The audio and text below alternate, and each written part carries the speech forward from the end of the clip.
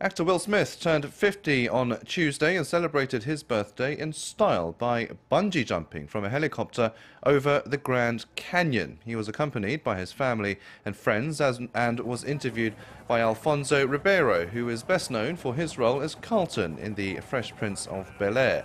Smith was challenged to, the, to do the jump by YouTube channel Yes Theory, which uses the slogan Seek Discomfort.